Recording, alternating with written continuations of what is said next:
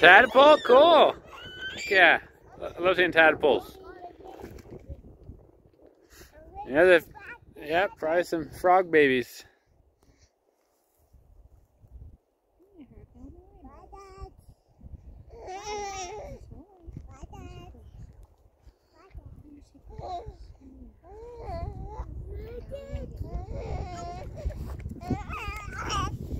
Man, it's like an oasis up here.